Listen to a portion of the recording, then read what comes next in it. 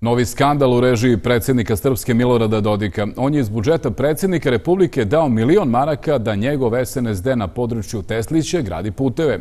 Ovo je krivično delo, ističe načelnik opštine Mila Miličević.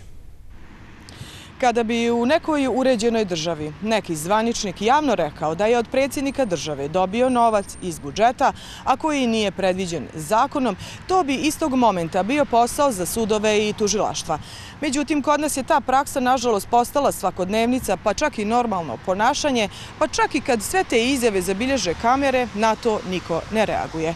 U ovom slučaju radi se o lokalnom funkcioneru SNSD-a u Tesliću i kandidatu te stranke za načelnika opštine, a kome je šef stranke Milorad Dodik prebacio milion maraka za infrastrukturne projekte. Nije tajna da je budžet predsjednika Srpske Milorada Dodika od 56 miliona maraka najveći budžet od svih predsjednika u regionu. Iako su to pare građana Srpske, Dodik ih je lično shvatio pa krenuo da ih rasipa kako njemu padne na pamet.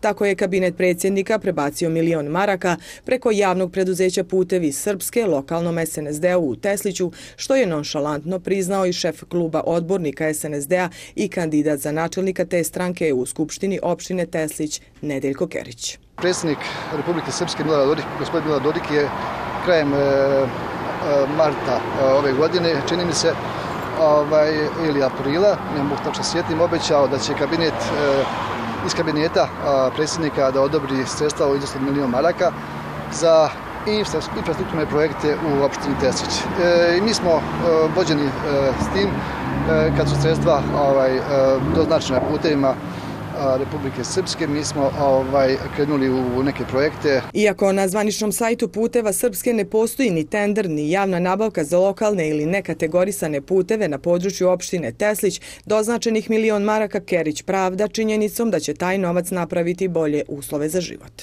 Ako nam neko pruži ruku, ako nam neko dodijeli e, legalan, legalan novac, e, e, kabinet iz kabineta predsjednika Republike Srpske, milion maraka, pa zašto to ne upotrebiti? Zašto ne iskoristiti? Svakom čovjeku potrebno da ima da ima ovaj bolji ustav za život, ako će mu to popraviti E, njegov kvalitet života, zašto to obstruisati? Kome će biti kvalitet života popravljen od milion maraka u Tesliću i zašto o tome priča SNSD, a ne putevi Srpske na čiji račun su pare doznačene, to ne znamo. Ali znamo da građani sigurno neće od tog novca dobiti ni fening.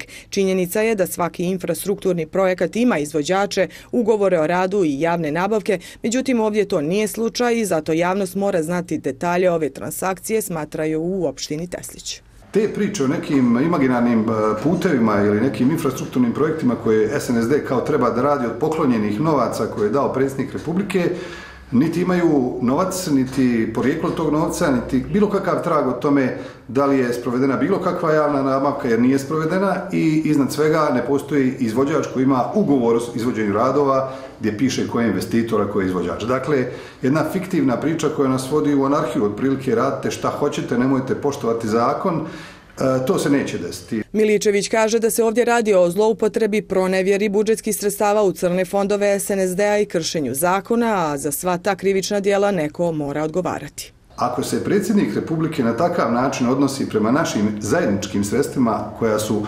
upakovana kroz budžet kao njegov lični budžet, e, onda to nije predsjednik Republike Srpske, onda je to predsjednik SNSD-a.